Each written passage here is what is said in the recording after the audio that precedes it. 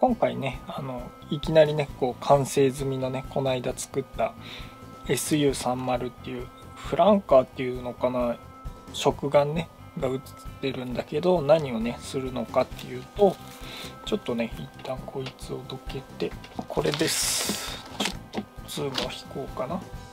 じゃんとダイソーで売ってる組み立てラックシリーズっていうやつねを買ってきました。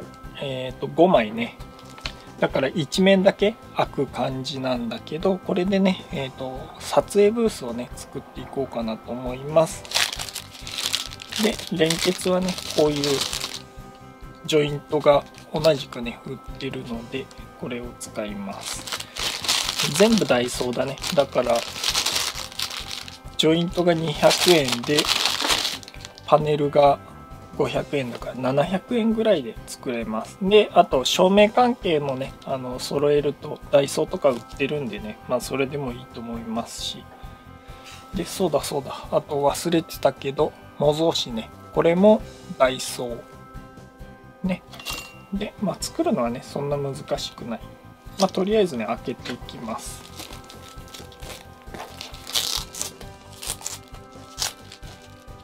で開封できました。ジョイントがね8個と真っ白で見えないけどね。えっ、ー、と半透明なんだよね。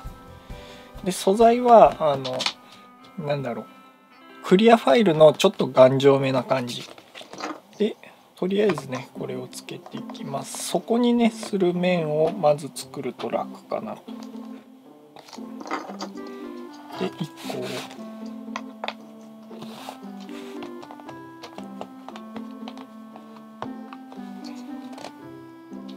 にこう望遠レンズで撮ってるからさ全体が映せないんだよね。3個。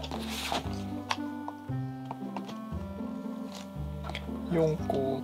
ビデオカメラだったらねあの望遠から広角までいけるから便利なんだけどビデオカメラ持ってないんだよね。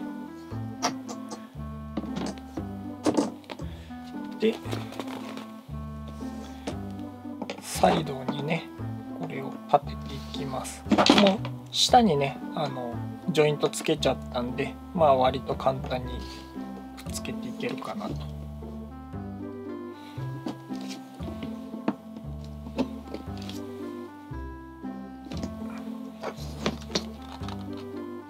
まあ見えないけどねこんな L 字 L 字になりました L 字に。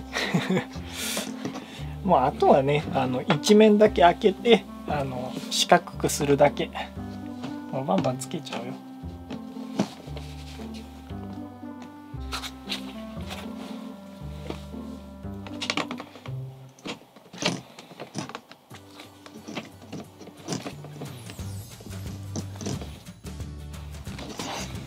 で、えっ、ー、と天井だけねない状態まで来たらまたこいつねこいつをつけていって天井をつけるよ。というだけのことです。蓋ねいらないんじゃないかなと思うんだけど。蓋いるのかな。まあいいや。とりあえず蓋をする前に蓋ねあのつけちゃうと模造紙がつけれなくなっちゃうのでちょっと見えないよね。どどうする？どうする？ちょっとねレンズをさすがに交換しました。こんな感じで。天井はねまだついてない。で壁が3面ついてて地面がある感じね。でここに模造紙を貼っていくんだけどちょっと長いね。で模造紙 真っ白になっちゃった。模造紙ね模造紙。模造紙の癖をね反対に巻いて取ってあげたらちょっとサイズが大きいんでわかる。わかんねえよな。サイズがねほらオーバーしちゃってるんでこれをカットしていきます。あの端っこの方がねくちゃくちゃになってたりすることあるんでそっち側を切ってあげるといいかなと思います。模造紙がね切れたらこの下はね貼ってないんだけどちょっと散らかっててごめんね。さっきまでプラも作ってたから。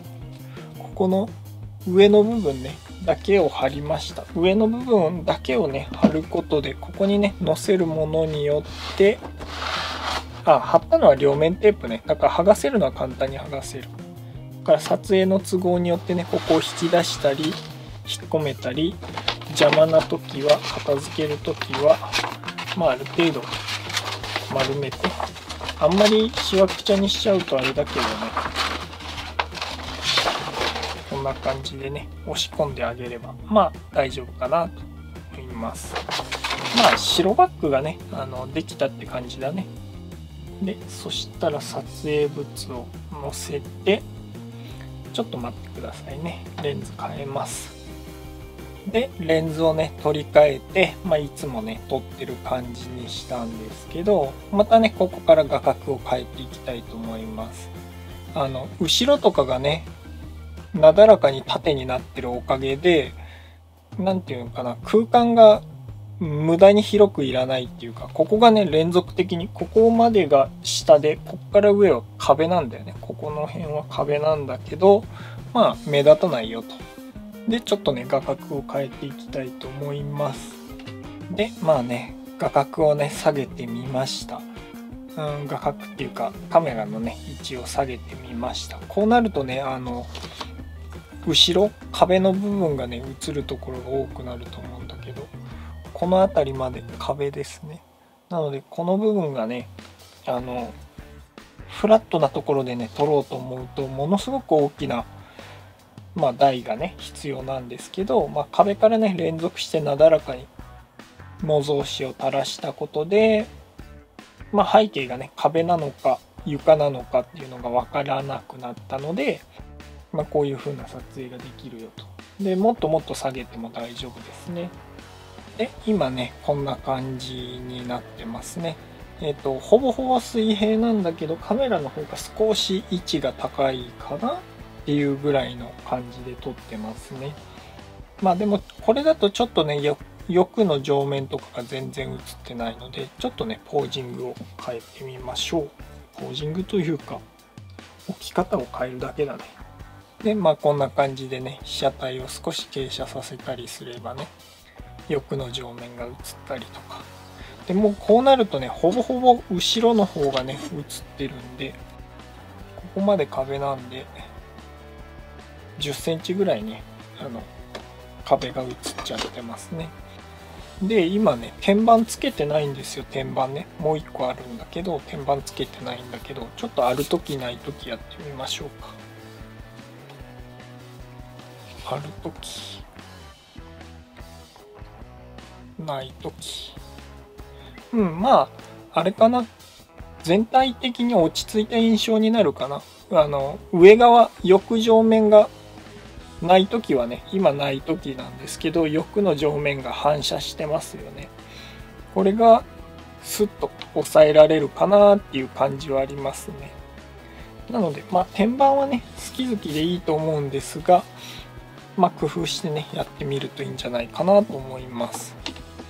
じゃあね一旦写真をね撮ってみようかなと思います。